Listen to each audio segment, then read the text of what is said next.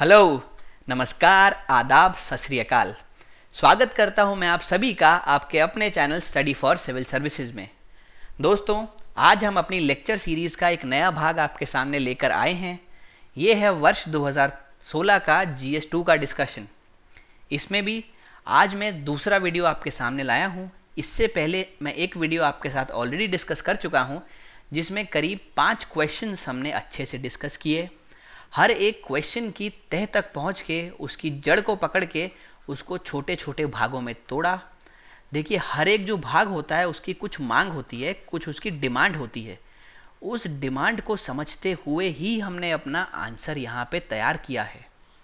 तो अगर आप हमसे जुड़े हैं, ये अप्रोच से आप ज़रूर परिचित होंगे। अगर आपने मुझे अभी ज्वाइन किया है तो मेरी गुजारिश है प्लीज़ मेरे पुराने सभी वीडियो देखें। एक अप्रोच हमने आपकी डेवलप कराने की कोशिश की है जिससे आप कभी भी कोई भी मेंस दें, आपके मन में वो अप्रोच रहे। और इस अप्रोच से फ़ायदा ये होगा कि आप क्वेश्चन के किसी भी पार्ट को मिस नहीं करेंगे। कुछ भी क्वेश्चन में ऐसा नहीं है जो आपका स्किप हो जाए। और इसके साथ एक और निवेदन है दोस्तों, एक बार आप वीडियो देख लें। वीडियो ख़त्म होने के बाद आप खुद दो से तीन सवाल ज़रूर प्रैक्टिस करें। जब आप प्रैक्टिस करेंगे, तभी आपको समझ में आएगा कि कितना डिफरेंस आ रहा है आपके आंसर में? आप बेहतर कर पा रहे हैं या नहीं कर पा रहे? इन सब बातों के चलते ही फिर आप एक सही जजमेंट अपना ले पाएँगे। तो दोस्तों, आप मेरे साथ जुड़े रहें और अपने आंसर को लगातार बेहतर बनाते रहें। एक और मैं आपसे बात कहना चाहता हूँ। कि आप कोशिश करें कि जब ये वीडियो लेक्चर्स देखें तो एक कॉपी एक पेन लें और इसके साथ में नोट्स बनाते जाएँ। क्योंकि बहुत सारी बातें ऐसी हैं जो इस, जो आपका पीडीएफ है उसमें नहीं दे रखी है। हम लोग आपको यहाँ पे बोल के बताते हैं डिस्कस करते वक्त बहुत सारी बातें सामने आती हैं। तो मैं चाहता हूँ आप किसी भी पॉइंट पे मिस ना करें। तो प्लीज़ एक कॉपी पेन लेके बैठें और आप इसके साथ साथ नोट्स बनाते चलें। इससे आपकी बहुत सारी परेशानियाँ हल हो जाएँगी। पूरा वीडियो लेक्चर हम हिंदी में डिस्कस करते हैं तो आपकी आसानी से पकड़ में आ जाएँगे कि किस तरीके के क्वेश्चन हैं, उनको कैसे डील करना है। आइए इसी सब नोट के साथ शुरू करते हैं अपना आज का लेसन क्वेश्चन नंबर पाँच से पहले के सवाल मैंने आपसे पिछले वीडियो में डिस्कस किए। आज मैं लेके आया हूँ आपके सामने क्वेश्चन नंबर छः और उसके बाद के सवाल। तो देखते हैं क्वेश्चन नंबर छः क्या कह रहा है। देखिए छठा क्वेश्चन जो है, ये बहुत एक इंपॉर्टेंट केस से डील करता है। ये है कोहेलो केस या फिर मैं कहूँ तो ये है I R Coelho case versus state of Tamil Nadu ये केस है 11 जनवरी 2007 इस केस में आपको डेट याद रखनी ज़रूरी है। ये बहुत इंपॉर्टेंट केस है, आप कहीं भी मेंशन कर सकते हैं। आपको जो आंसर में ये आपके मजबूती देगा, ये उसमें एनरिचमेंट लाएगा, वो अलग ही लेवल पे है। तो प्लीज़ इसको ध्यान से सुने और इसकी डेट्स याद रखें, इससे जुड़े हुए फैक्ट्स याद रखें। देखिए, ये एक तो इंपॉर्टेंट इसलिए हो जाता है क्योंकि ये नाइन जज बेंच का केस था। नौ जज बैठे थे इस केस के फैसले के लिए। अगर मोटे मोटे तौर पे कहूँ तो ये केस डील करता है आपके बेसिक स्ट्रक्चर डॉक्ट्रिन से। इसकी तकनीकी आपको मैं अभी आप बताऊँगा। जिसका इजाद हुआ था केशवानंद भारती केस में 1973 में। इसमें बताया क्या गया था केशवानंद भारती केस में कि भाई, अगर कोई भी चीज़ बेसिक स्ट्रक्चर को अमेंड करना चाह रही है तो ये संभव नहीं है। और अगर फिर भी आप करते हैं तो हमारी जुडिशरी उसको स्ट्रक डाउन कर सकती है। यही जो बेसिक स्ट्रक्चर की बात है, ये कैरी फॉरवर्ड की गई मिनरवा मिल केस में भी। जिसमें बताया गया कि जुडिशियल रिव्यू जो है, वो basic structure of the constitution है, आपके संविधान का बेसिक स्ट्रक्चर है। तो आप किसी भी चीज़ को अगर जुडिशियल रिव्यू से इम्यून कराना चाहते हैं, आप चाहते हैं कि वो ऐसी बन जाए कि जहाँ पर जुडिशरी की नज़र ना जा पाए तो वो संविधान के खिलाफ है अनकॉन्स्टिट्यूशनल है, उसको हमारी जुडिशरी स्ट्राइक डाउन कर सकती है। अब इस केस के लिए आपको एक नाइन्थ शेड्यूल का पता होना ज़रूरी है। नाइन्थ शेड्यूल क्या था ये उन्नीस सौ इक्यावन में हमारे संविधान में डाला गया। ये बेसिकली इस पर्पज से डाला था कि कोई भी लॉ को अगर आपको जुडिशरी से दूर रखना है, जो उस पर जुडिशल रिव्यू नहीं होना है तो आप उसको नाइन्थ शेड्यूल में डाल देंगे। तो यहाँ पे जुडिशियल रिव्यू पॉसिबल नहीं है। जो पहला लॉ यहाँ पे रखा गया था, वो था ज़मींदारी अबॉलिशन लॉ इसमें अगर आपका यहाँ पे लॉ आ गया है तो इस पर एक बात साफ़ है कि जुडिशरी का कोई भी पहुँच नहीं है जुडिशरी कुछ नहीं कर सकती। अब ये जो आपका आई आर कोहेलो केस है, ये पूरा केस इसी बात के इर्द गिर्द घूमता है। इसमें पाँच बड़े बड़ी तौर पे जो चीज़ें आई उभर के, वो आपके लिए बहुत इंपॉर्टेंट है। सबसे पहली बात कही गई जुडिशरी द्वारा कि भाई, अगर आपने इस नवे शेड्यूल में कोई लॉ रख दिया है तो इसका ये मतलब नहीं है कि जुडिशरी उस पर नज़र नहीं रख सकती। सब कुछ जुडिशियल रिव्यू के अंदर आता है।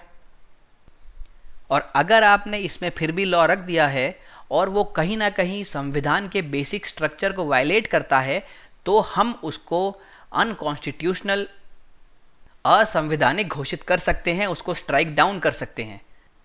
उसके अलावा एक तारीख याद रखना ज़रूरी है 24 अप्रैल 1973 जो तारीख थी आपके केशवानंद भारती केस की तीसरी जो बात इस केस में कही गई, वो कहा गया कि 24 अप्रैल 1973 जब हमने बेसिक स्ट्रक्चर डॉक्ट्रिन का इजाद किया है, वो जब एस्टैब्लिश हुई है, पहली बार जब वो आई है, उसका फाउंडेशन ले किया गया है तो उस तारीख के बाद अगर आप कोई भी लॉ इस नाइन्थ शेड्यूल में रखते हैं तो उस पर जुडिशल रिव्यू पॉसिबल है।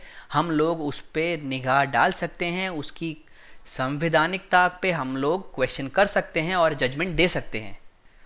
फिर आई चौथी बात कि भाई अगर जो आपका लॉ है वो आर्टिकल 21, आर्टिकल 14, आर्टिकल 15 और आर्टिकल 19 से वायलेटिव है अगर इसको वो भंग कर रहा है वायलेट कर रहा है तो फिर इस लॉ को भी अनकॉन्स्टिट्यूशनल घोषित किया जा सकता है। और आखिरी में अगर आप इस तरीके से चीज़ें कर रहे हैं तो आप हमारे संविधान के पार्ट थ्री को वायलेट कर रहे हैं जो कि है फंडामेंटल राइट तो ये था आपका पूरा केस। अब इस पर अपन आंसर देख लेते हैं, आइए। देखिए, इसमें अप्रोच रहेगी। सबसे पहले आप बताएँ बेसिक स्ट्रक्चर डॉक्ट्रिन क्या है, ये कब आई, ये किस केस में आई, ये सब बातें करें। उसके बाद आप बताएँ, ये जो अपना केस है कोहेलो केस क्यों आया, इसमें क्या बताया। तीसरी बात आप करें कि जुडिशियल रिव्यू क्यों ज़रूरी है। देखिए केस इसी बात पे फोकस कर रहा है कि भाई जुडिशियल रिव्यू होना चाहिए, वो है। तो अब आपको अपना पक्ष भी रखना है कि भाई जुडिशियल रिव्यू इसने तो बोल दिया केस ने लेकिन मैं ये बता रहा हूँ कि जुडिशियल रिव्यू इंपॉर्टेंट है और क्यों है।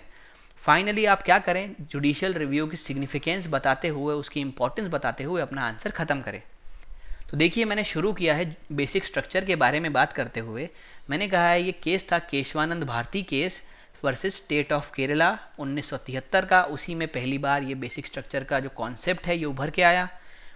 कोर्ट ने ये कहा कि कोई भी चीज़ जो बेसिक स्ट्रक्चर आपके संविधान को वायलेट कर रही है तो फिर उसको स्ट्राइक डाउन किया जा सकता है और बेसिक स्ट्रक्चर या बेसिक फीचर जो है कॉन्स्टिट्यूशन का उसको अमेंड करना संभव नहीं है।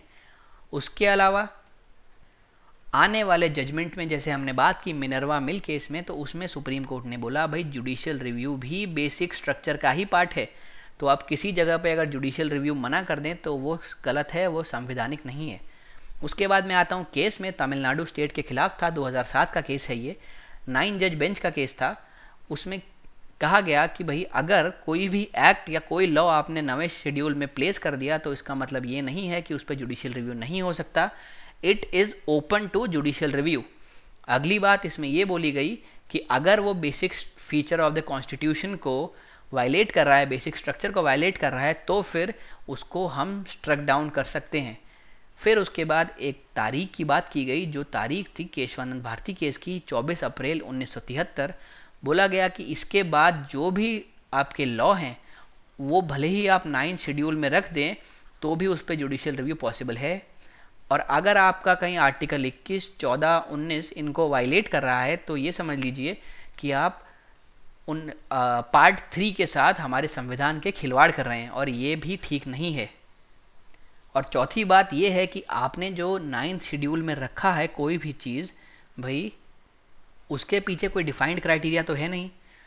पार्लियामेंट का डिस्क्रिशन है, उसकी मर्ज़ी है। उसने सोचा कि ये वाला लॉ जुडिशरी की नज़र से दूर रखना है तो उसने यहाँ रख दिया। तो ये जब आपकी मर्ज़ी पे बात हो गई तो फिर वो संवैधानिक हो ही नहीं सकती। तो इसीलिए अगर ये वाला भी प्रिंसिपल हो रहा है तो आपके पार्ट थ्री के साथ खिलवाड़ किया जा रहा है। ये बातें कही गई कोहेलो केस में, अब जुडिशियल रिव्यू क्यों होना चाहिए? देखिए जुडिशियल रिव्यू से क्या होता है? जुडिशरी आपकी फंडामेंटल राइट्स की रक्षा करता है। अगर स्टेट कोई भी लॉ ऐसा लाए, कोई भी नियम, कायदा या कानून ऐसा लाए, जिससे सिटीजन की फ्रीडम उसकी इंडिपेंडेंस किसी भी तरीके से वायलेट हो रही हो तो जुडिशरी अपना काम करता है, वो उस लॉ को असंवैधानिक घोषित करके हटा देता है। तो इसीलिए ये कॉन्स्टिट्यूशनैलिटी ऑफ़ कोई भी लॉ भी चेक करता है। तो इसीलिए अगर कोई भी लॉ आप जुडिशरी की नज़र से दूर ले जाएँगे तो अपने आप वो अगेंस्ट होगा बेसिक स्ट्रक्चर डॉक्ट्रिन के। फाइनली जो जुडिशल रिव्यू है, वो रूल ऑफ़ लॉ प्रमोट करता है कंट्री में। तो इसीलिए बहुत बहुत ज़रूरी है, ये सिटीजन्स को प्रोटेक्ट करता है गवर्नमेंट के आर्बिट्री डिसीज़न से। गवर्नमेंट अपनी मनमर्जी के जो डिसीज़न लेता है, उससे प्रोटेक्ट करता है सभी नागरिकों को। जैसे कि एग्ज़ाम्पल दिया है मैंने 66 ए सेक्शन का। ये जो सेक्शन था, इसको ड्रैकोनियन बोला गया था। इसके तहत अगर आप सरकार के खिलाफ या अथॉरिटी के खिलाफ किसी कुछ भी बोलते हैं, भले ही इलेक्ट्रॉनिक मीडियम से बोला या कैसे भी बोला या मैसेज कम्युनिकेट किया तो आपको जेल हो सकती थी, आप पे फाइन लग सकता था। लेकिन बाद में इसी को चेक करने के लिए कुछ केसेस चले और फाइनली ये पाया सुप्रीम कोर्ट ने कि भाई ये जो आपका 66 ए है ऑफ़ द आईटी एक्ट ये आर्टिकल 19 को वायलेट करता है। Freedom of speech and expression तो इसने क्योंकि आपके फंडामेंटल राइट right को वायलेट किया है इसी वजह से ये संवैधानिक हो ही नहीं सकता। फाइनली ये आपने बताया क्या इंपॉर्टेंस है जुडिशियल रिव्यू की। आपने कंक्लूड कर दिया कि भाई इसीलिए जुडिशियल रिव्यू जो है, वो one of the most important feature होना चाहिए हमारे संविधान का, हमारे भारतीय संविधान का। तो इसीलिए जुडिशियल रिव्यू हमेशा जीवित रहना चाहिए। इस तरीके से आपने पूरा क्वेश्चन टैकल किया। ये इंपॉर्टेंट क्वेश्चन है। ये जो केस है, कहीं भी बेसिक स्ट्रक्चर की बात है जुडिशियल रिव्यू की बात है, ये केस का आप ज़रूर ज़िक्र करें। अगला क्वेश्चन देखते हैं। देखिए, ये क्वेश्चन है गवर्नमेंट ऑफ़ इंडिया एक्ट 1935 के रिगार्डिंग भाई, ये कहता है कि इस एक्ट ने क्या एक फेडरल कॉन्स्टिट्यूशन का निर्माण किया है? क्या एक परिसंधीय संविधान रखा है? ये आपको बताना है, इस पर डिस्कस करना है। डिस्कस जहाँ होता है, कुछ नहीं, हमको विस्तार में बात करनी है, लेकिन इसी मार्ग पे चल के आपको अपने जो मार्ग है, उससे भटकना नहीं है। आपको सटीक रहना है, आपको अपने पक्ष को मज़बूत करने के लिए एग्जाम्पल्स का सहारा लेना है।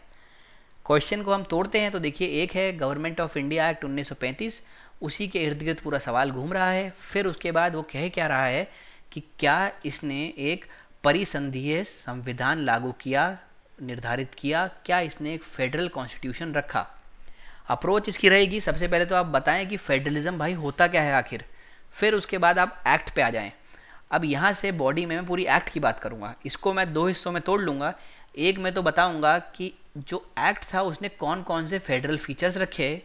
आगे मैं बताऊँगा कि एक्ट ने कौन कौन से यूनिटरी फीचर्स रखे। तो इसी के तहत मैं ये बता दूँगा कि भाई एक्ट ने फेडरल भी रखे यूनिटरी भी रखे, और दोनों को जोड़ के आपको क्या पक्ष लेना है, आपका क्या स्टैंड है, वो आप अपने कंक्लूजन में बताएँ। देखिए, शुरू मैंने किया है फेडरलिज्म की डेफिनेशन देखिए क्या है? एक सिस्टम ऑफ़ गवर्नमेंट है, जहाँ पे होता क्या है? जो पावर है, वो नीचे आपके कॉन्स्टिट्यूएंट पॉलिटिकल यूनिट्स में डिवाइडेड होती है।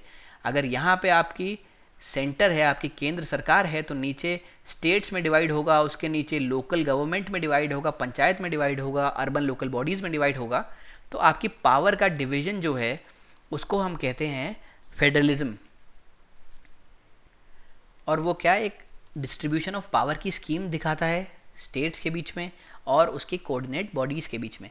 अब मैं आता हूँ भाई एक्ट पे। एक्ट क्या है? सबसे पहले एक्ट के कुछ फेडरल फीचर बात करते हैं। इसने एक्ट ने एक ऑल इंडिया फेडरेशन का निर्माण किया। हालाँकि ये कभी भी प्रैक्टिकल तौर पे आ नहीं पाया, ये सत्य कभी नहीं हो पाया, लेकिन इसका इंटेंशन था एक ऑल इंडिया फेडरेशन बनाना। तो ये एक ऐसी फेडरेशन होगी जिसमें सभी ब्रिटिश इंडिया प्रोविंस होंगी और अगर और कोई भारतीय स्टेट इसमें आना चाहे तो वो भी आ सकता है, लेकिन एक ऑल इंडिया फेडरेशन होगी। सब लोग आपस में जुड़े रहेंगे फेडरल यूनिट के तौर पे। लेकिन जो हमारे राजा थे प्रिंसली स्टेट्स थे, उन्होंने इसके लिए कंसेंट नहीं दिया तो इसी वजह से ये फेडरेशन कभी भी रियलिटी में नहीं आ पाई, सिर्फ़ पेपर्स पे ही रह गई। अब प्रोविंशियल ऑटोनॉमी की बात करते हैं तो इस एक्ट ने प्रोविंस को भी कुछ ऑटोनॉमी दी। इसने लेजिस्लेटिव पावर को डिवाइड किया केंद्र के बीच में और उनकी प्रोविंसेस के बीच में। जो आपकी प्रोविंसेस थी, अब वो एक ऑटोनॉमस यूनिट थी।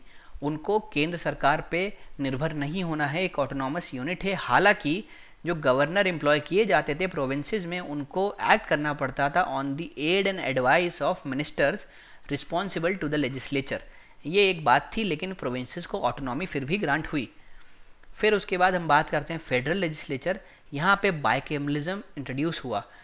एक अपर हाउस और एक लोअर हाउस राज्यसभा, लोकसभा, ये इंट्रोड्यूस किया गया। देखिए, एक था लेजिस्लेटिव असेंबली एक थी council of states list system की यहाँ पे बात हुई, जो हमारे आज भी संविधान में है, सेवन शेड्यूल है आपका, तीन लिस्ट हैं, ये हमने इसी एक्ट से लिया है। यहाँ पे क्या है? थ्री फोल्ड डिवीज़न है। फेडरल लिस्ट है, प्रोविंशियल लिस्ट है, कॉन्करेंट लिस्ट है। फेडरल लिस्ट में वो सभी सब्जेक्ट हैं जिसपे सेंटर आपके लॉ बनाएगा। इसमें करीब 59 आइटम्स हैं।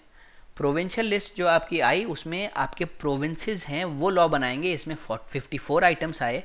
और कॉन्करेंट लिस्ट ऐसी थी जिसमें दोनों के दोनों लॉ बना सकते हैं। यहीं पे एक फेडरल कोर्ट का निर्माण हुआ, जिसकी तीन तरीके की जुरिस्डिक्शन थी ओरिजिनल एपिलिएट और एडवाइजरी और ये सभी मुद्दों को डील कर सकता था, अगर डिस्प्यूट होगा सेंटर और उसके फेडरल यूनिट्स के बीच में, ये उसके ओरिजिनल जुरिस्डिक्शन में आता था। ये आपके हो गए सभी के सभी फेडरल फीचर अब बात करते हैं अपन यूनिटरी फीचर की। भाई यूनिटरी फीचर में ये था कुछ ऐसे मुद्दे थे जिसपे सेंट्रल गवर्नमेंट का अभी भी अपर हैंड था। गवर्नर को हालाँकि जो मिनिस्टर रिस्पॉन्सिबल थे, उनसे एड एंड एडवाइस लेनी पड़ती थी, पर कुछ मुद्दे ऐसे थे जहाँ पे इनको एड एडवाइस नहीं, बल्कि ऊपर से सारे इंस्ट्रक्शन आते थे। ऊपर बैठे थे गवर्नर जनरल और सेक्रेटरी ऑफ़ स्टेट ये लोग इंस्ट्रक्शन भेजते थे और उस आधार पे गवर्नर उन सब्जेक्ट्स पे लेजिस्लेशन बनाते थे।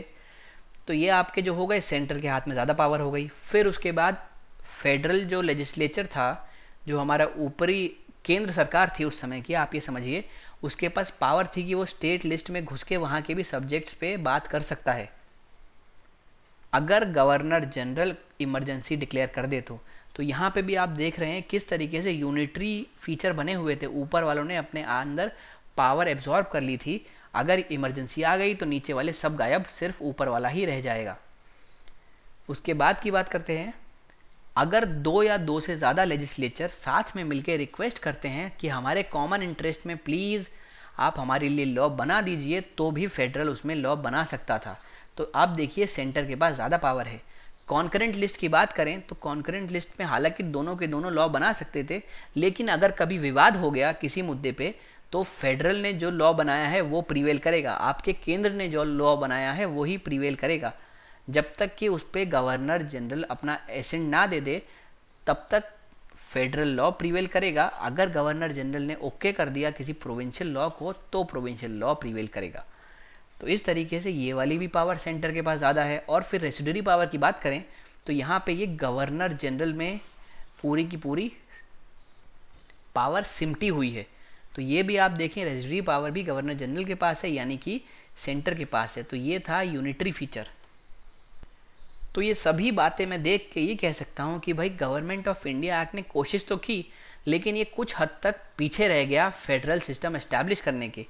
तो ये कहना सबसे सटीक होगा कि इसने काशी फेडरल कॉन्स्टिट्यूशन जारी किया। क्वासी फेडरल जो है, यानी कि कुछ फीचर तो है फेडरल के और कुछ फीचर इसमें है यूनिटरी के। तो इसने ये बीच वाला संविधान जारी किया। अगले क्वेश्चन पे चलते हैं। इस ये क्वेश्चन है कि क्या है क्वासी जुडिशियल बॉडी और आप एग्ज़ाम्पल के तहत समझाइए। ऐसी बॉडी जो कोई और काम करती है, लेकिन कोर्ट के अलावा कोर्ट नहीं है, जिसका कोई और काम है, लेकिन वो साथ में मैटर्स पे जज भी करती है, उसको हम काशी जुडिशियल बॉडी कहते हैं। अभी इसके बारे में हम पढ़ते हैं, देखिए। यहाँ पे एक्सप्लेन है आपका कीवर्ड एक्सप्लेन में आपको क्या है?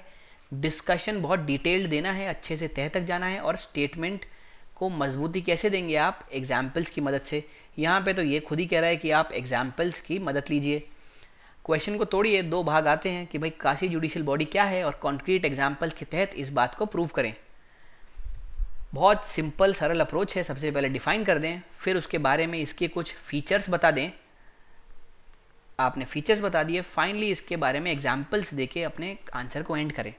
तो देखिए, शुरू मैंने किया है, कोई भी ऐसा इंस्टीट्यूशन या फिर इंडिविजुअल जो पावर वो पोजेस करता है, जो कोर्ट के जैसी पावर हो उसको हम क्वासी जुडिशियल अथॉरिटी कह सकते हैं। और उसके पास पावर होती है किसी भी मुद्दे पे एडजुडिकेट करने की, किसी भी मुद्दे पे कोई जजमेंट पास करने की। और हालाँकि ये जो है, ये कई लोगों की, कई इंडिविजुअल किसी एंटिटी के जो कंडक्ट है, उसको भी रेगुलेट कर सकती है। और आप इसको ये भी कह सकते हैं कि एक ऐसा ऑर्गन ऑफ़ द गवर्नमेंट है, लेकिन ध्यान रखिए, कोर्ट को आप कौसी जुडिशल नहीं कहेंगे। कोर्ट तो पूरी तरह जुडिशल है। और लेजिस्लेचर भी जो गवर्नमेंट का एक ऑर्गन है, वो भी इसमें नहीं आएगा। और कोई ऑर्गन जो कि अफेक्ट करता है राइट्स ऑफ़ प्राइवेट पार्टीज़ कैसे? या तो एडजुटिकेट करके या फिर लॉ और रूल बना के उसको भी हम क्वासी जुडिशियल बॉडी कह सकते हैं।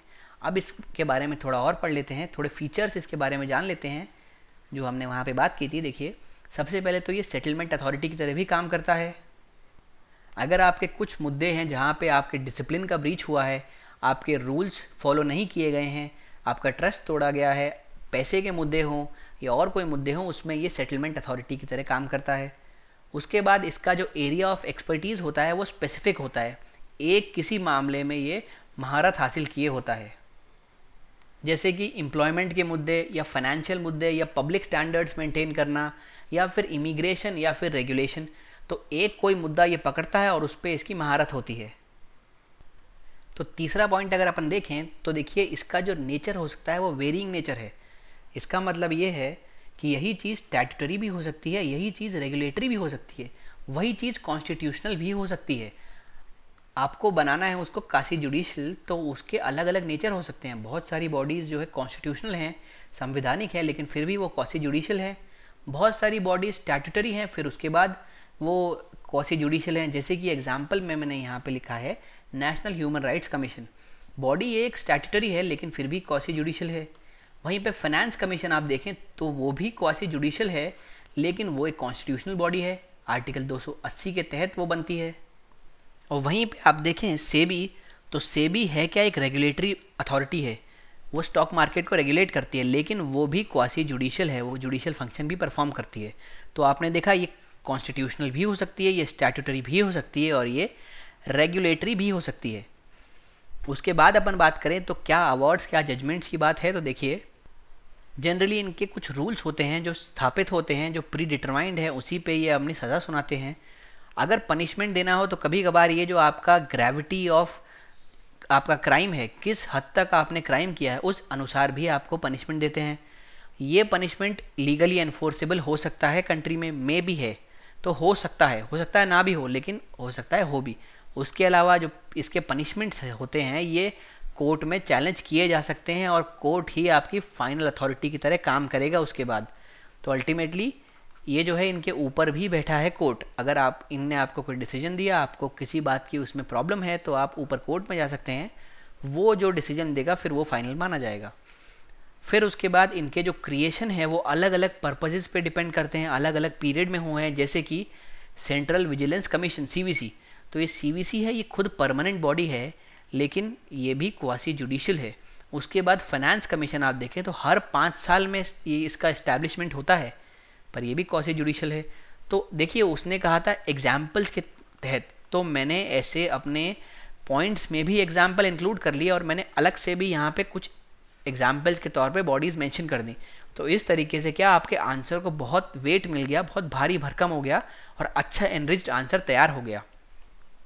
अब देखिए, यहाँ पे मैंने बात की है सेंट्रल और state information commission national state human rights commission national state district consumer dispute redressal commission competition commission of India appellate tribunal state electricity regulatory commission railway claims tribunal income tax appellate tribunal और state sales tax appellate tribunal तो आप इसमें से जितने याद रख पाएँ, उतने सही हैं। लेकिन अगर कुछ आपने यहाँ पे भी अपने पॉइंट्स के साथ डाल दिए तो आपके आंसर एकदम बढ़िया, एकदम पूरा कंटेंट से भरपूर हो जाएगा। आइए अगला क्वेश्चन देखते हैं। अगला क्वेश्चन है कि प्रोफेसर अमर्त्य सेन, उन्होंने एडवोकेट किया था कि भाई जब तक आपके प्राइमरी एजुकेशन में रिफॉर्म आप नहीं लाएँगे, जब तक आप प्राइमरी हेल्थ केयर में रिफॉर्म नहीं लाएँगे, देखिए यहाँ पे एजुकेशन और हेल्थ दोनों को साथ में ले लिया है। एक एजुकेशन है और एक हेल्थ है तो दोनों ही मुद्दों पे अपने को बात करनी है। अगर आप इनमें रिफॉर्म नहीं लाएँगे, तब तक देश का विकास नहीं होगा, रुका रहेगा। तो आपको सजेशन देने हैं इसमें। तो ये क्वेश्चन बहुत वाइड है। सजेशन जहाँ भी चीज़ मांगती है तो वो वाइड हो जाती है। आप उसमें कोई भी बात अपनी लिख सकते हैं, जब तक वो इन दोनों बातों से रेलिवेंट हो। और आप सजेशन दें कैसे इनके स्टेटस को बढ़ाएँ और कैसे इनमें परफॉर्मेंस में बूस्ट लाएँ। इन दोनों एरियाज़ पे आपको फोकस करना है। तो आपका जो आंसर है वो दो हिस्सों में टूटेगा। एक है प्राइमरी हेल्थ केयर एक है प्राइमरी आपका एजुकेशन एक है आपका प्राथमिक स्वास्थ्य, एक है आपका प्राथमिक शिक्षा। दोनों चीज़ों को लें अलग अलग एंगल्स बनाएँ, दोनों में कंटेंट को भरें, अपने सजेशंस यहाँ पे दें और इस तरीके से अपने आंसर का स्ट्रक्चर बनाएँ। यहाँ पे कोई कीवर्ड है नहीं, अगर मैं क्वेश्चन को तोड़ लेता हूँ तो देखिए, दो बातों के इर्द गिर्द पूरा सवाल घूम रहा है। मैंने यही दो बातें आपसे कही हैं। एक तो है आपकी प्राथमिक शिक्षा प्राइमरी एजुकेशन एक आपकी है प्राथमिक स्वास्थ्य देखभाल या फिर प्राइमरी हेल्थ केयर आपको इन दोनों के आसपास ही अपना पूरे आंसर को रखना है। फिर उसके बाद दो बातें कह रहा है ये कि पहली पॉइंट तो है प्रोफेसर अमर्त्य सेन ने कुछ कहा है। उन्होंने कहा है कि अगर आप रिफॉर्म लाएँगे तो ही आपका देश तरक्की करेगा डेवलपमेंट की तरफ़ बढ़ेगा। तो आपको अपने आंसर की शुरुआत में इनकी बात करनी है, इनके कहे हुए पॉइंट्स कहने हैं, लेकिन आपके आंसर का बहुत ही छोटा सा भाग बनेगा ये। उसके अलावा आपका जो मेन पार्ट है वो ये वाला है। आपको सजेशन देने हैं कि कैसे इनको इम्प्रूव किया जाए, इनका स्टेटस बढ़िया किया जाए। तो देखिए अप्रोच आपकी रहेगी। शुरुआत में आप आइडिया बता दें क्या है प्रोफेसर अमर्त्य सेन का। उसके बाद जब हम यहाँ पे आएँ तो बॉडी में आप दो भाग करिए। पहले भाग में आप लीजिए प्राइमरी एजुकेशन जो हमने वहाँ पे बात की थी। दूसरे भाग में आप लीजिए प्राइमरी हेल्थ केयर इससे आपको क्वेश्चन को आसानी से तोड़ने और समझने में बहुत हेल्प मिलेगी। तो यही आप अप्रोच फॉलो करें। उसके बाद कोशिश करें एक ऑप्टिमिस्टिक एक पॉजिटिव बढ़िया नोट पे इसको ख़त्म करें। तो देखिए, शुरू मैंने किया है प्रोफेसर अमर्त्य सेन की बात से। मैंने कहा है कि वो एक रिनाउंड इकोनॉमिस्ट थे, एक नोबल लॉरियट थे। फिर उसके बाद मैंने कहा है कि उन्होंने अपना डिससेटिस्फैक्शन व्यक्त किया। उन्होंने कहा कि सरकार अच्छा काम नहीं कर रही है अपने प्राथमिक शिक्षा को बढ़ावा देने के लिए और अपने प्राथमिक स्वास्थ्य देखभाल को बढ़ावा देने के लिए इस केस में अभी भी सरकार को बहुत काम करना बाकी है। अगर सरकार यहाँ पे अच्छे से इन्वेस्ट नहीं करेगी, ध्यान नहीं देगी तो देश की सस्टेनेबल इकोनॉमिक ग्रोथ रुक जाएगी। आपको वहाँ ध्यान देना ज़रूरी है। तो फिर अब आ गए मेरे खुद के सजेशन भाई, मैंने दो हिस्सों में तोड़ लिया। सबसे पहले प्राइमरी एजुकेशन देखिए, आप प्राइमरी की बात कर रहे हैं। इसमें हायर एजुकेशन की बात ना करें। इसमें अगर आपको सेकेंडरी एजुकेशन की बात करनी है तो थोड़ी बहुत करें। पासिंग बाय रेफरेंस दे, लेकिन आपका जो मेन आंसर है प्राइमरी के आसपास घूमना चाहिए। तो देखिए, सबसे पहला तो जो कंपलसरी एजुकेशन है, वो सरकार की जो प्रायोरिटी लिस्ट है, उसके टॉप पे होना चाहिए। एजुकेशन होगी, तभी बच्चा आगे पढ़ पाएगा, आगे पढ़ेगा, आगे बढ़ेगा। कुछ समय बाद उसमें स्किल्स डेवलप होंगी तो वो देश का डेमोग्राफिक डिविडेंड की तरह उभरेगा और अच्छी जॉब उसको हासिल होगी। अच्छी जॉब मिलने के बाद अच्छा कमाएगा, पूरे देश की तरक्की में वो हाथ बटाएगा। लेकिन उसके लिए आपको नींव अच्छी रखना ज़रूरी है। तो आपको कंपलसरी एजुकेशन जो आपकी आर e कहता है right to free and compulsory education fundamental right भी है छः से चौदह साल के बच्चों के लिए आर्टिकल इक्कीस में उसको अपनी प्रायोरिटी लिस्ट के टॉप में रखें, फिर बाद में डेवलपमेंट इनिशिएटिव्स लगाएँ। आर e जो है उसको धीरे से प्री स्कूल में भी बढ़ा दें और आगे हायर सेकेंडरी में भी बढ़ा दें। अभी एक स्कीम चली है, समग्र शिक्षा अभियान, जिसमें सर्व शिक्षा अभियान राष्ट्रीय माध्यमिक शिक्षा अभियान और टीचर्स एजुकेशन ये तीनों ही चीज़ें इनकॉर्पोरेट की गई, समग्र बना है एक। इस तरीके की स्कीम्स को लाना ज़रूरी है। ज़रूरी है इनका इम्प्लीमेंटेशन अच्छे से हो। मिड डे मील स्कीम है, उसका इम्प्लीमेंटेशन अच्छे से करना ज़रूरी है। आपके जो टीचर्स हैं, उनकी ट्रेनिंग पे आप ज़ोर दीजिए। अगर आप इस पे ज़ोर देंगे तो वो बच्चे को अच्छा पढ़ा पाएँगे और आगे जाके बच्चा भी अच्छा कर पाएगा। उसके बाद, देखिए लर्निंग आउटकम्स और क्वालिटी इन दोनों की ज़रूरत है। जनरली क्या होता है, हमने एक पैरामीटर तय कर लिया कि अगर बच्चे स्कूल में आ रहे हैं तो फिर हमने भाई एजुकेशन दे दी। हम सफल हो गए, लेकिन ये गलत बात है। भाई एनरोलमेंट रेशियो अलग चीज़ है। ये मान लीजिए आपका स्कूल है, दो बच्चे इसमें जा रहे हैं, और आपने मिड डे मील स्कीम चला रखी है तो बच्चे क्या है, खाने के लालच में यहाँ जा रहे हैं, और जाके फिर उसके बाद खाना खा के वापस आ जाते हैं, या फिर पूरा अटेंड भी कर लेते हैं तो वो पूरे ध्यान से पढ़ाई नहीं कर रहे। अगर आप लर्निंग आउटकम नहीं दे रहे, अगर आप क्वालिटी एजुकेशन नहीं दे रहे तो इस एजुकेशन का कोई मतलब ही नहीं है। ये नेक्स्ट टू ज़ीरो है तो आपको यहाँ पे क्वालिटी पे फोकस करना ज़रूरी है। आपकी जो डिटेंशन पॉलिसी है, उसको रिस्टोर करना ज़रूरी है। अर्जेंट नीड है कि आप आरटीई के तहत ही अपर प्राइमरी स्टेज पे डिटेंशन पॉलिसी को रिस्टोर करें। और आप रेमेडियल कोचिंग का भी एक प्रावधान लाएँ। मतलब अगर कोई बच्चा किसी एक सब्जेक्ट में कमज़ोर है तो उसके लिए रेमेडियल अलग से कोचिंग होनी चाहिए। टेक्नोलॉजी का इस्तेमाल करिए, अपनी टीचिंग को, अपनी लर्निंग को इंटरेक्टिव बनाइए, तब बच्चे ध्यान से सुन पाएँगे, उनका जो है इंटरेस्ट जागेगा। तो ये बहुत इंपॉर्टेंट है। साथ ही साथ इससे एजुकेशन का एक्सेस भी बढ़ेगा। ये एक बहुत इंपॉर्टेंट फैक्टर है। ये देख लीजिए टेक्नोलॉजी के माध्यम से अगर आज मैं आपको साउथ इंडिया में किसी हिस्से में बैठ के पढ़ा रहा हूँ और आप उत्तर प्रदेश में हैं तो भी आप तक ये मेरा लेसन पहुँच रहा है। तो ये एक्सेसिबिलिटी बढ़ रही है। ये आना चाहिए प्राइमरी एजुकेशन में भी। आप इंफ्रास्ट्रक्चर पे फोकस करें, आप एजुकेशन को एक्सेसिबल बनाएँ, हर एक जगह एजुकेशन हो। अभी हालात ये हैं कि स्कूल में टॉयलेट्स नहीं हैं, जिसकी वजह से जो लड़कियाँ हैं, वो जल्दी ही ड्रॉप आउट कर देती हैं। आपको टॉयलेट्स कंस्ट्रक्ट करना ज़रूरी है। सेफ्टी को आपको पूरा ध्यान रखना चाहिए। इंफ्रास्ट्रक्चर स्कूलों का इतना ख़राब है, उसको आप बेहतर कीजिए। भाई, अगर आप एक अच्छा विकास चाह रहे हैं तो अपनी नींव तो मज़बूत करिए। एजुकेशन आपकी नींव बनेगी। तो उसको मज़बूत करना ज़रूरी है। आप ज़्यादा फंड्स दें यहाँ पे। वोकेशनल ट्रेनिंग भी आप इनकॉर्पोरेट करें। स्किल बेस्ड एजुकेशन को इनकॉर्पोरेट करें। तो ये सब आपको अर्ली लेवल से करना ज़रूरी है, तभी आगे जाके आपका काम सही से बन पाएगा। फिर बात करता हूँ मैं हेल्थ केयर की। प्राइमरी हेल्थ केयर में क्या करना है? सबसे पहले तो उसमें पैसा लगाइए। आपका जो जीडीपी का एक्सपेंडिचर है वो लेस देन फोर परसेंट है हेल्थ का, जो कि एक बहुत चिंताजनक बात है। वहाँ पे आपको मेहनत करना ज़रूरी है। लोगों के जो आउट ऑफ़ पॉकेट एक्सपेंडिचर है, जो उनकी जेब से पैसा जा रहा है, उसको कम करिए। उसी के चलते लोग पॉवर्टी के लाइन के नीचे आ जाते हैं। क्यों? क्योंकि अगर मान लीजिए आपके कोई आदमी पब्लिक किसी भी हॉस्पिटल में दिखाने जाता है, वहाँ पे अच्छी सुविधाएँ नहीं है, आपने इंफ्रास्ट्रक्चर डेवलप नहीं कर रखा तो उसको मुड़ना पड़ता है प्राइवेट की तरफ़। अब वो आदमी गया इस प्राइवेट हॉस्पिटल में, यहाँ पे उसकी जेब से इतना पैसा लग गया कि अगर वो आदमी इस गरीबी रेखा के यहाँ था तो धीरे धीरे उसके सारे पैसे खर्च हो गए और वो बी पी एल कैटेगरी में आ गया। तो जो पॉवर्टी की लाइन में धकेलने वाला फैक्टर है कि ये बड़ा फैक्टर है तो आप उसके आउट ऑफ़ पॉकेट एक्सपेंडिचर कम करिए। अपने पब्लिक हेल्थ जो है, उसका इंफ्रास्ट्रक्चर बढ़ाइए। प्राइमरी हेल्थ केयर का इंफ्रा बढ़ाइए, जिससे कि लोगों को प्राइवेट की तरफ़ जाना ही ना पड़े। इनफैक्ट आप ऐसा करिए कि प्राइवेट को भी साथ में ले लीजिए। पीपीपी प्रोजेक्ट के तहत इंफ्रास्ट्रक्चर डेवलपमेंट कराइए। प्राइवेट अच्छे से अच्छी सुविधा प्रोवाइड करेगा और धीरे से गवर्नमेंट इसका कंट्रोल ले ले। यहाँ पे स्किल्ड वर्कफोर्स रखिए। देखा जाता है कि प्राइमरी हेल्थ केयर पर ध्यान नहीं दिया जाता तो वहाँ पे बहुत कम स्किल्ड वर्कफोर्स है। लोग जो मर्ज़ी वो चलाते रहते हैं, पर ये चीज़ गलत है। आपको स्किल्ड वर्कफोर्स पे ध्यान देने की बहुत ज़रूरत है। पीपीपी प्रोजेक्ट्स को इम्प्लीमेंट करें। आपको करना यह है कि आपको इंश्योरेंस का पेनिट्रेशन करवाना है। जितनी अंदर तक, गहराई तक पेनिट्रेशन पेनिट्रेशन होगा इंश्योरेंस का, उतने ही लोग जागरूक बनेंगे। अगर मेरे हाथ में आज मेरे पास इंश्योरेंस है और कल को कोई नीड आ जाए तो मैं डरूँगा नहीं। ना ही मैं बीपीएल बन जाऊँगा एकदम से।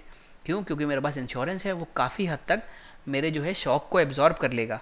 आज के समय में मैं देखूँ तो ये एक परसेंट के करीब है। इतना कम है इंश्योरेंस तो इंश्योरेंस के लिए जागरूकता बढ़ाइए, जिससे कि आपके आउट ऑफ़ पॉकेट एक्सपेंडिचर कम हो। और सरकार कुछ स्कीम चला रही है, जैसे कि राष्ट्रीय स्वास्थ्य बीमा योजना, इसी इंश्योरेंस के तहत ऐसी स्कीम्स को और बूस्ट मिलना ज़रूरी है। ऐसी स्कीम्स का सही तरीके से इम्प्लीमेंटेशन होना ज़रूरी है। और मैं इसको कंक्लूड करता हूँ एक अच्छे नोट पे कि भाई, अगर देश के पास हेल्दी और पढ़ी लिखी पॉपुलेशन है तो उसमें कुछ भी कर जाने की क्षमता है। वो बहुत अच्छी तरीके से ग्रो कर सकता है और वो अपने डेवलपमेंटल एजेंडा जो उसने बनाए हैं, जो उसने अपने विकास के गोल तय कर रखे हैं, वो उसको निश्चित ही मीट कर पाएगा। तो ऐसे आपने एक पॉजिटिव नोट पे इसको एंड किया। आइए अगला क्वेश्चन देखते हैं। देखिए, अगला क्वेश्चन है भारतीय गवर्नेंस सिस्टम के बारे में और यहाँ पे बता रहा है role of non state actors non state actors में क्या है? देखिए एन हैं आपके, वहीं पे आपकी सिविल सोसाइटीज़ हैं, उसके अलावा आपके और भी ऐसी सोसाइटीज़ हैं जो सरकार पे किसी तरीके का प्रेशर बनाती हैं, वहीं पे इसके कुछ नेगेटिव फैक्टर्स भी हैं, जैसे कि एक्सट्रीमिस्ट ग्रुप हैं, जो भारत की इंटरनल सिक्योरिटी को खतरा बनते हैं। दूसरी बात आपके हो गए टेररिस्ट ऑर्गेनाइजेशन हैं, तीसरी बात नक्सलवादी हैं तो ये जो आपके हैं, ये दोनों ही आपके नॉन स्टेट एक्टर्स हैं। क्वेश्चन कह रहा है कि अगर भारतीय गवर्नेंस सिस्टम की अपन बात करते हैं तो ऐसे गैर राजकीय कर्ताओं की भूमिका बहुत कम है, बहुत लिमिटेड है, बहुत सीमित है। इस पे आपको क्रिटिकली एग्जामिन करना है। मतलब दोनों ही बारे में बोलना है। अगर आप यहाँ पे पकड़ेंगे तो आप बोलेंगे, नहीं नहीं, ऐसी बात नहीं है भाई एनजीओ अच्छा काम कर रहे हैं सिविल सोसाइटी अच्छा काम कर रही है। यहाँ पे एग्ज़ाम्पल भी देते रहिए, साथ में नर्मदा बचाओ आंदोलन में इनमें से एनजीओ ने अच्छा काम किया बहुत। लेकिन वहीं पर आप नेगेटिव हिस्से को भी साथ में ले कि भाई ऐसा नहीं है। कुछ नॉन स्टेट एक्टर्स हैं जो फिर ख़राब कर रहे हैं हमारी इंटरनल सिक्योरिटी का माहौल। तो आप दोनों चीज़ें साथ में लें क्रिटिकली एग्जामिन करना है आपको। इसका मतलब बहुत गहराई तक जाना है, हर एक पार्ट को पकड़ना है की फैक्ट्स को समझना है और प्रॉपर इवेल्युएशन करना है। अच्छे बुरे दोनों ही पहलुओं को आपको देखना है और एक बैलेंस्ड नोट पे इसको ख़त्म करना है। क्वेश्चन को मैं तोड़ता हूँ तो ये मेरा आता है दो भाग। सबसे पहले तो क्वेश्चन का बैकग्राउंड है नॉन स्टेट एक्टर्स का रोल वो कह रहा है कि मार्जिनल है मतलब बहुत सीमित है।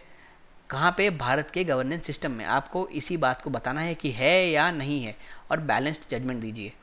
तो आपकी अप्रोच रहेगी, सबसे पहले आप बताएँगे नॉन स्टेट एक्टर्स क्या होते हैं, उनका पॉजिटिव कॉन्ट्रीब्यूशन बताएँगे, लेकिन फिर कुछ बताएँगे इश्यूज़ उनका नेगेटिव कंट्रीब्यूशन कुछ कुछ चिंताएँ वो प्रकट करते हैं, वो आप बताएँगे। उसके अलावा आप ये बताएँगे क्या कंसर्न्स हैं आज with respect to non state actors इस कंसर्न में आप बताएँगे क्या प्रॉब्लम्स हैं कि भाई नॉन स्टेट एक्टर्स जो अच्छा काम कर रहे हैं, वो क्यों नहीं बढ़ पा रहे? तो यहाँ पे आप बता सकते हैं, सरकार के नियम, जो एफ़ एक्ट आया, उसके तहत बहुत सारे एनजीओ जैसे कि ग्रीन पीस थे, उन सब पे लगाम लगा दी गई। तो इस तरीके से आपको ये वाला क्वेश्चन डील करना है। फाइनली आप क्या करेंगे? आप कंक्लूजन में अपना एक स्टैंड पकड़ेंगे और उसको मजबूती देंगे। तो देखिए, मैंने शुरुआत कैसे की है? मैंने नॉन स्टेट एक्टर्स बताया, होता क्या है? क्या है? ये कुछ ऐसे लोग हैं, कुछ ऐसी एंटिटीज़ हैं जिनके पास काफ़ी ज़्यादा पावर है कि वो इन्फ्लुएंस कर पाएँ सरकार को या किसी भी पॉलिसी मेकिंग को बिना खुद हिस्सा होते हुए सरकार का। देखिए नॉन स्टेट मतलब वो स्टेट के कहीं भी इन्वॉल्वमेंट में नहीं है। बाहर ही लोग हैं, कोई बाहर के लोग हैं, वो लोग सरकार को या उनकी पॉलिसी मेकिंग को इन्फ्लुएंस करती है। इतना वो जो है क्षमता अपने अंदर रखते हैं। ये कौन कौन हो सकते हैं? ये सिविल सोसाइटी हो सकती हैं, ये एन हो सकते हैं। फिर देखिए, मैंने बॉडी में एग्जाम्पल्स के साथ इस क्वेश्चन को डील किया है। भाई, मैंने बताया पॉजिटिव कंट्रीब्यूशन क्या करते हैं? ये चीज़ को, वहाँ के आपके सरकार को रिस्पॉन्सिबल ट्रांसपेरेंट रिस्पॉन्सिव और अकाउंटेबल बनाते हैं।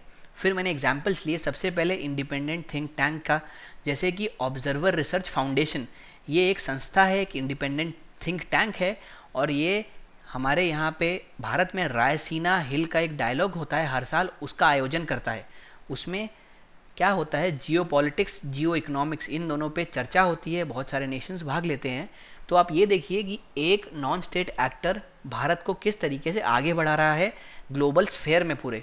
फिर उसके बाद एनजीओ कई चिल्ड्रन के लिए भी काम करते हैं, जैसे कि बचपन बचाओ आंदोलन, जैसे कि चाइल्ड राइट्स एंड यू ये लोग सरकार को फोर्स करते हैं या उनको पुश करते हैं कि आप ऐसी पॉलिसीज़ का निर्माण करें जो बच्चों के हित में हो। उसके बाद कुछ सिविल सोसाइटीज़ भी अच्छा काम करती हैं। जैसे कि 2011 में सिविल सोसाइटी ने अहम भूमिका निभाई थी एंटी करप्शन इंस्टीट्यूशनल मैकेनिज्म के इस्टेब्लिशमेंट में, जो कि था लोकपाल एंड लोकायुक्ता एक्ट। उसमें सिविल सोसाइटी का अहम योगदान था। फिर मैं बात करूँ अगर बिज़नेस और प्रेशर ग्रुप की तो यह है फिक्की, सी एफ़ आई ये क्या करते हैं? ये सरकार को फोर्स करते हैं कि वो बिज़नेस फ्रेंडली इनिशिएटिव्स को इंट्रोड्यूस करें, वो कैपिटल फ्रेंडली रिफॉर्म्स लाएँ, जिससे कि देश में इन्वेस्टमेंट बढ़े, देश में इंडस्ट्रीज़ बढ़े, देश का विकास हो एम्प्लॉयमेंट बढ़े और सब कुछ बढ़े तो फिर देश पूरे तौर पे आगे बढ़ेगा ग्रो करेगा। तो इनका भी अच्छा योगदान है। लेबर ऑर्गेनाइजेशन की बात करें तो ये फाइट करते हैं लेबर रिफॉर्म्स के लिए सरकार लेबर के लिए अच्छे अच्छे रिफॉर्म्स लाए लेबर लॉज को थोड़ा रिलैक्स करे। तो ये आपने कर ली भाई सारी अच्छी बातें। अब देखते हैं ख़राब बातें क्या है। सबसे पहले तो कुछ इश्यूज़ हैं। ये लोग क्यों अच्छे से काम नहीं कर पाते? क्योंकि जो सरकार है, वो इनके एक्ट इनके एक्शंस को लेके, इनके एक्ट को लेके थोड़ा चिंतित है। वो डाउटफुल है कि ये लोग सही काम करेंगे या नहीं करेंगे। और ब्यूरोक्रेसी है जो हमारी, वो थोड़ी रिलेक्टेंट है। वो वो चाह न रही कि बाहर से कोई भी आए और पार्टिसिपेट करे डिसीज़न मेकिंग प्रोसेस में।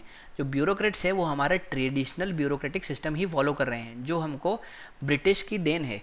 तो उसमें रिलक्टेंस बहुत है। उसमें आज लोग ये बात नहीं मान पा रहे हैं कि पार्टिसिपेशन जितना ज़्यादा होगा, उतनी ही बेहतर पॉलिसीज़ बनेंगी। तो ये भी एक पंगा है। उसके अलावा दूसरी बात यह है कि जो एफसीआरए का हमारा एक्ट आया था, उसने बहुत सारे जो नॉन स्टेट एक्टर्स हैं उन पे क्या किया? एक बहुत स्ट्रिक्ट रेगुलेशन लगाया। फाइनेंसिंग बहुत मुश्किल हो गई। इसके तहत कुछ एनजीओ को तो बैन तक कर दिया गया था। क्यों? क्योंकि उनको ऐसा लग रहा था कि वो भारत की सिक्योरिटी में हानिकारक हो सकते हैं, जैसे कि ग्रीन पीस तो ये जो नॉर्म्स थे, इस वजह से भी इनको इंडिपेंडेंटली फ़ंक्शन करने में परेशानी फेस करनी पड़ी। आज हमारी सरकार जो है, वो टॉप डाउन अप्रोच फॉलो करती है, जो कि गलत है। होना चाहिए बॉटम अप अप्रोच आप नीचे से शुरू करिए कोई रिफॉर्म तो धीरे धीरे करके ये ऊपर तक आएगा। आप ऊपर से रिफॉर्म शुरू करते हैं, नीचे जाते जाते ये गायब हो जाता है, नीचे तक पहुँच ही नहीं पाता। तो अगर ये आप इसको चेंज करके आप बॉटम अप अप्रोच शुरू करेंगे तो आपके पार्टिसिपेशन भी बढ़ेगा। क्योंकि चीज़ शुरू हुई है ग्राउंड रूट से ग्रास रूट लेवल से तो वहाँ पे पार्टिसिपेशन बढ़ेगा।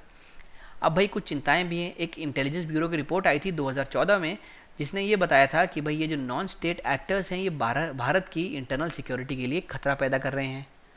इसी के चलते एफ़ को अमेंड किया गया और उसको ज़्यादा टाइटन अप किया गया, ज़्यादा उसको ज़ोरदार किया गया जिससे उसके जो है नज़र से कोई भी बच ना पाए। उसी रिपोर्ट ने यह भी बोला कि जो नॉन स्टेट एक्टर्स हैं, ये बहुत सारे डेवलपमेंटल प्रोजेक्ट्स को रोक रहे हैं। इसकी वजह से हमारी जो इकोनॉमी है, उसको डैमेज हो रहा है, वो भी करीब तीन परसेंट ऑफ़ जीडीपी तो ज़रूरी है इनको रोकना, इन पर स्ट्रिक्ट रेगुलेशन लगाना। और कभी कभार आप जानते हैं कि ये जो नॉन स्टेट एक्टर्स होते हैं, ये गलत एक्टिविटीज़ में भी फंसते हैं। जैसे कि bomb blast act of violence नकली करेंसी छापना टेररिज्म फाइनेंसिंग जो हमारे भारत की स्टेबिलिटी को ख़राब करता है। तो आपने प्लस बात की, आपने माइनस बात की, आपने बताया क्या इश्यूज़ हैं इस प्लस वालों की अच्छी फंक्शनिंग के लिए। अब हम ये बात करते हैं कि दस अगर हम दोनों तरफ़ देखें तो हमको ये लगता है कि इनका रोल मार्जिनल तो नहीं है भाई। ये बात तो सही है।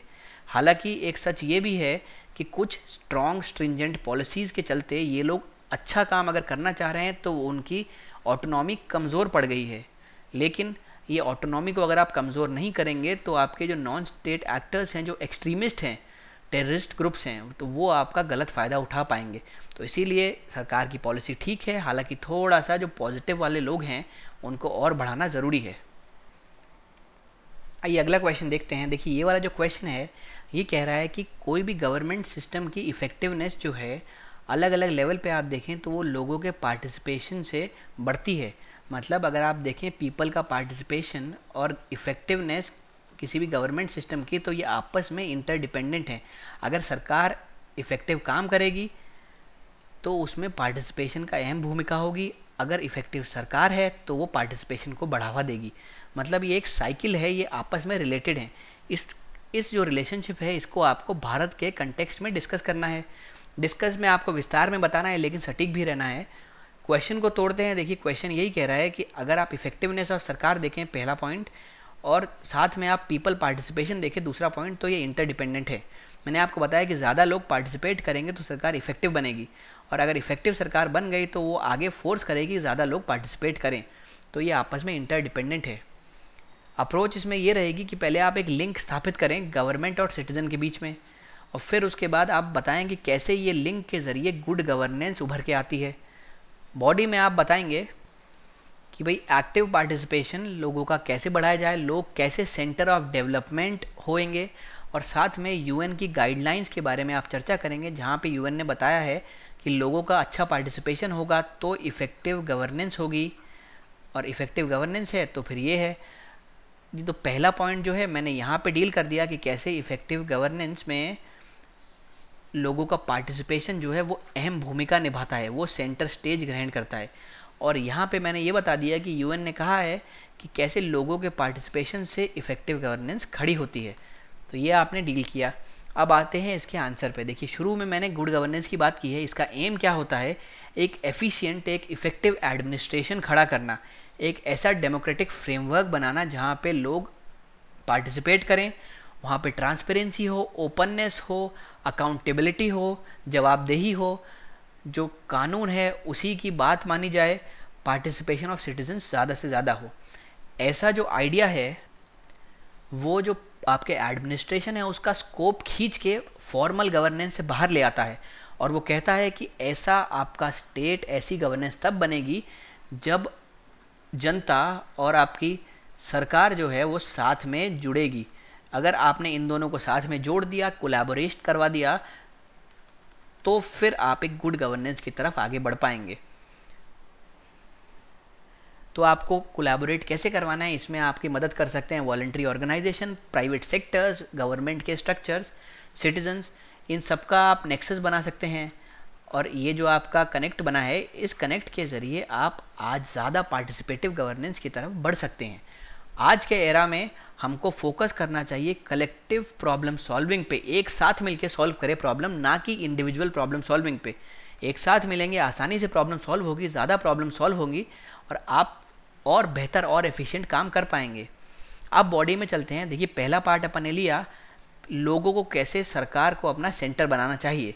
सबसे पहले गुड गवर्नेंस जो है, वो लोगों को अपना सेंटर ऑफ़ डेवलपमेंट प्लानिंग बनाती है। मतलब जो पूरा मेरा डेवलपमेंट प्लान होगा, वो इस आदमी को आगे बढ़ाने के चारों तरफ़ घूमेगा। कैसे इसको आगे बढ़ाएँ?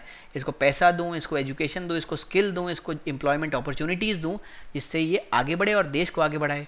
उसके अलावा, इससे होगा क्या? इससे जो मेरी सरकार है, वो सिटीजन सेंट्रिक रहेगी। मतलब सिटीजन को मैंने सेंटर बना लिया अपनी डेवलपमेंटल पॉलिसीज़ में। और पार्टिसिपेटिव रहेगी, इसको भी पार्टिसिपेट करने को मजबूर करेगी। इससे जो सरकार है, वो भी ज़्यादा रिस्पॉन्सिव होगी, जवाबदेह बनेगी अकाउंटेबल बनेगी एक कॉमन मैन के लिए। अब मैं यूएन गाइडलाइंस का सहारा लेता हूँ। यूएन की गाइडलाइंस थी on citizens engagement for development management and public grievance जिसको आप अपनी कॉपी में नोट डाउन कर सकते हैं और कहीं भी यूज़ कर सकते हैं। ये गाइडलाइंस कह रही है कि अगर आपको कहीं भी ये बात मेजर करनी है कि कितना लोगों का पार्टिसिपेशन है तो कुछ बातों से आप ये मेजर कर सकते हैं। सबसे पहला, वो कितना सिटीजन्स को इन्वॉल्व करते हैं अपने पॉलिसी मेकिंग में, अपने प्रोग्राम डेवलपमेंट में। दूसरी बात, कितना टू वे कम्युनिकेशन होता है। मतलब कितना सरकार से सिटीज़न बात कर सकता है और सरकार कितना सिटीज़न से राय ले सकती है कई मुद्दों पे। तो ये इंपॉर्टेंट है। उसके बाद एक फोरम प्रमोट होना चाहिए। फोरम मतलब समझ लीजिए एक प्लेटफॉर्म प्रमोट होना चाहिए जहाँ पे कोई आदमी खड़ा होकर अपनी बात बता सके, सरकार को और सरकार उसका समाधान दे सके। डिसीज़न मेकिंग में ये हेल्प करेगा। चौथी बात कलेक्टिव प्रॉब्लम सॉल्विंग पे कितना फोकस है। अगर ये चार मुद्दे अच्छे से बराबर आपने टैकल किए हैं तो भाई आपके सरकार में लोगों का अच्छा बहुत अच्छा पार्टिसिपेशन है। ये यूएन की गाइडलाइंस कहती हैं तो हम इसको बहुत जगह पे यूज़ कर सकते हैं। इसको आप नोट डाउन कर लें।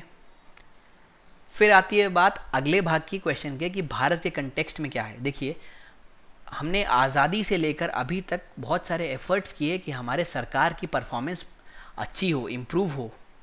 कॉन्स्टिट्यूशन में कुछ कुछ बातें लिखी हुई हैं, जैसे कि फंडामेंटल राइट का चैप्टर है, आपके directive principle of state policies का चैप्टर है। तो ये दोनों क्या कहते हैं? ये दोनों ये बोलते हैं कि भाई, सरकार की कुछ रिस्पॉन्सिबिलिटीज़ हैं अपने सिटीजन्स के प्रति। उनको ऐसे लॉज ऐसे रूल्स ऐसे नियम कायदे कानून बनाने हैं जिससे उनका सिटीज़न प्रोटेक्ट हो सके। उनका सिटीज़न आगे बढ़ सके। तो ये कॉन्स्टिट्यूशनल मैंडेट अपने आप ही कह रहा है कि जो सिटीज़न है और जो सरकार है, इनको आपस में कोलैबोरेट करना ज़रूरी है। वहीं पे आपका संविधान फंडामेंटल ड्यूटीज़ को भी मेंशन करता है। वो कहती है कि इस सिटीज़न को अपने देश के लिए कुछ करना ज़रूरी है। इसको गवर्नेंस इंप्रूव करने के लिए करना ज़रूरी है।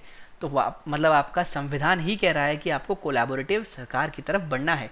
बस उसको इंटरप्रेट करने की देरी थी। तो हमने यहाँ पे इस तरीके से इंटरप्रेट किया। उसके बाद सरकार ने कई स्टेप्स लिए हैं, हम यहाँ पे उनका ज़िक्र करेंगे, जैसे कि सिटीज़न चार्टर को प्रिपेयर करना ग्रीवेंस रिड्रेसल मैकेनिज्म बनाना। अगर आपको कोई भी तकलीफ़ है सरकार से, किसी ऑर्गन से तो आप यहाँ पे जा सकते हैं, अपनी तकलीफ़ को रजिस्टर कराइए। जल्दी से जल्दी ये आपकी तकलीफ़ का समाधान करेंगे। उसके अलावा इंफॉर्मेशन टेक्नोलॉजी का ज़्यादा यूज़ हो गया है आरटीआई आया है। राइट टू इन्फॉर्मेशन एक्ट के ज़रिए आप कोई भी बात का पता लगवा सकते हैं, जब तक कि वो कुछ ऐसे एक्ट्स में ना पड़ती हो, जहाँ पे ये चीज़ें प्रोहिबिटेड हों। बाकी आप सभी बातों को पता लगा सकते हैं। डिसेंट्रलाइजेशन मेजर्स भी सरकार द्वारा चलाए गए। पंचायत का इस्टेब्लिशमेंट म्यूनिसपैलिटी का इस्टेब्लिशमेंट इससे क्या हुआ है? पावर नीचे तक गई है। नीचे तक पावर जाएगी, तभी लोकल्स का पार्टिसिपेशन बढ़ेगा। तो सरकार काम तो कर रही है, लेकिन थोड़ा और काम करने की ज़रूरत है। यही मैंने कंक्लूड किया है। एक्टिवली काम कर रही है, लेकिन अभी भी हमको बहुत लंबी रास्ता तय करनी है। एक परफेक्टली रिस्पॉन्सिबल गवर्नमेंट की तरफ़।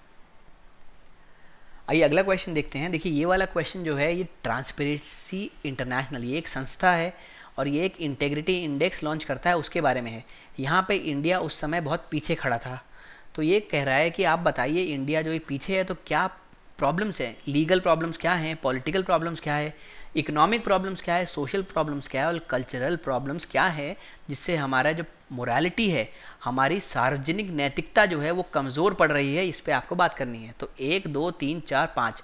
पाँच आपके सीधे सीधे एंगल्स बनेंगे क्वेश्चन में, उन सब में थोड़ा थोड़ा कंटेंट लिखिए, आप अपने शब्द का ध्यान रखिए वर्ड लिमिट का ध्यान रखिए और ऐसे आप एड्रेस करिए। ये तो बिल्कुल क्वेश्चन ने ही आपको आंसर का स्ट्रक्चर बता दिया है। डिस्कस करना है एग्जॉस्टिव रहिए, सटीक बात करिए। मैं क्वेश्चन को तोड़ता हूँ तो देखिए इसमें ट्रांसपेरेंसी इंटरनेशनल संस्था की बात की है और इसके इंडेक्स की बात की है। इंडेक्स में भारत ने अच्छा परफॉर्म नहीं किया है। क्या क्या फैक्टर्स हैं, ये कुछ एंगल बताए गए हैं जिन पे आपको बात करनी है।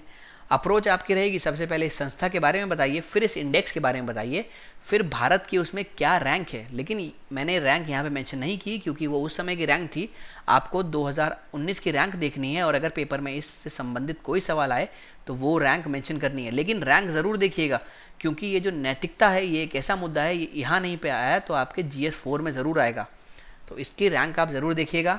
फिर यहाँ पे आप रीजंस लिखें। लीगल क्या है भाई? पॉलिटिकल क्या है? इकोनॉमिक क्या है? सोशल क्या है? एक और एंगल है कल्चरल वो भी क्या है? फिर वे फॉरवर्ड बताएँ। तो देखिए, मैंने शुरू कैसे किया है? ये जो एक संस्था है, ये बर्लिन में बेस्ड संस्था है, और ये करप्शन के खिलाफ वॉचडॉग की तरह काम करता है। ये देखता है कौन करप्ट है, कौन नहीं है। एनुअली ये एक इंडेक्स छापता है करप्शन परसेप्शन इंडेक्स या फिर इंटेग्रिटी इंडेक्स भी यहाँ पे जो बात हुई है, इसमें आप इंडिया की रैंक अभी देखें और यहाँ पे भरें, ये आपका असाइनमेंट है। उसके बाद आपको करना क्या है फैक्टर्स पे बात करनी है, जिसकी वजह से गिर रहा है हमारा जो पब्लिक मोरालिटी है, जो हमारा सार्वजनिक नैतिकता है, वो गिर रही है। पहला लीगल फैक्टर जो क्वेश्चन पूछ रहा था, भाई हमारे जुडिशरी के साथ प्रॉब्लम्स है। इतने केसेस पेंडिंग है, बहुत सारी वैकेंसी है जुडिशियल में। उसके अलावा आप देखें तो आपका केस इतना लंबा चलता है, एक केस का परिणाम आने में पाँच छः सात साल लग जाते हैं। तो ये जो डिलेड जस्टिस है, ये क्या करता है? करप्ट एलिमेंट्स के लिए बढ़ावा देता है। जो भी लोग हैं, जो कोई क्राइम करते हैं, उनको लगता है, अबे, कोई बात नहीं, अगर केस चला भी गया कोर्ट में तो इसको लगेंगे पाँच छः साल। तो कोई बात नहीं क्राइम कर दो। तो उनको बढ़ावा देता है। अगर तुरंत के तुरंत फैसले हों तो लोग कम ऐसे करप्शन में इन्वॉल्व हों। उसके बाद आपका जो एक्ट है प्रिवेंशन ऑफ़ करप्शन एक्ट उसमें भी लूप होल्स हैं। तो इन लूप होल्स के चलते भी परेशानियाँ हैं। रेड टेपिज्म बहुत है। जितना आप देखें तो आपकी फ़ाइल को लटका के रखा जाता है। अगर वो चीज़ दो दिन में हो सकती है तो उसको आठ दिन लिए जाते हैं। तो ये क्यों? क्योंकि करप्शन वो चाहते हैं आप उनको पैसा खिलाएँ और पैसा खिलाने के बाद वो आपका काम थोड़ा जल्दी कर दे। अगर आप ईमानदार हैं, आप ब्राइबिंग में विश्वास नहीं रखते हैं तो फिर आप वही आठ से दस दिन आप वेट करिए और आपको उस तरीके से काम होगा। तो ये भी गड़बड़ है। और अब बात करें तो देखिए यही प्रिवेंशन ऑफ़ करप्शन एक्ट क्या है? एक सेक्शन बावन है। उसके तहत ब्यूरोक्रेसी पे बहुत ज़बरदस्त प्रेशर लगाता है। तो ये जो प्रेशर पड़ता है, इसके तहत ब्यूरोक्रेसी भी थोड़ा डर जाती है और वो डिसीज़न लेने में पीछे हटती है कि हम डिसीज़न ले ले, कल को कोई गलत डिसीज़न पड़ गया तो हमें इसी एक्ट के तहत अंदर कर दिया जाएगा। भले ही ऑनेस्ट ऑफिसर है। तो इसीलिए ये जो एक्ट है, इसको थोड़ा मॉडिफाई करना ज़रूरी है। उसके अलावा विजिलेंस की कमी है अकाउंटेबिलिटी की कमी है इन्फॉर्मेशन सिस्टम ही हमारा एडिक्वेट नहीं है, जहाँ पे लिखा हो क्या क्या कौन कौन है, किसने क्या क्या करप्शन किया है। फिर चलते हैं पॉलिटिकल फैक्टर्स में। भाई पॉलिटिकल विल की कमी है, वो तो आपको पता है, हर जगह का एक कॉमन पॉइंट है पॉलिटिकल विल की कमी। उसके अलावा पॉलिटिकल पार्टी जो हैं, वो आज भी आरटीआई के दायरे में नहीं आना चाह रही, जबकि सीआईसी ने ऑर्डर किया था कि आपको आना पड़ेगा, लेकिन वो नहीं आ रहे। क्यों? क्योंकि उनको डर है कि हमारा कोई करप्शन बाहर आ जाएगा। उसके अलावा पॉलिटिकल इन्वॉल्वमेंट, देखिए क्रोनिंग कैपिटलिज्म, ये एक टर्म है, इसको आप एज इट इज़ याद कर सकते हैं, अपनी कॉपी में मेंशन कर सकते हैं। इससे क्या होता है, इससे सरकार जो है कैपिटलिस्ट के साथ एक समूह बना लेती है और उसी के तहत इसी वाले कैपिटलिस्ट को प्रमोट किया जाता है। अब जो इसको प्रमोट करेगा तो ये आपके करप्ट एस्पिरेशंस को बढ़ावा दे रहा है। आप फेवरिज्म कर रहे हैं। इससे बढ़िया आप ओपन मार्केट करिए। सबको पूरा मौका दें, लेकिन यहाँ मौका नहीं मिलता है। इलेक्शन फंडिंग बहुत ओपेक है। इसमें पारदर्शिता के नाम पे कुछ भी नहीं है। इसमें आपको हर एक चीज़ को सही करना बहुत ज़रूरी है, वरना आपका जो है, इस इंडेक्स पे रैंकिंग नहीं बढ़ेगी। पॉलिटिकल इन्फ्लुएंस बहुत है। आज हमारे पास एंटी करप्शन वॉचडॉग्स हैं, हमारे पास संस्था है जो करप्शन को रोकें। सीबीआई है सीआईडी है सीवीसी है। लेकिन पॉलिटिक्स इसमें इतना इन्फ्लुएंस इतना इंटरफेयर करती है कि ये लोग भी अच्छे से काम नहीं कर पाते।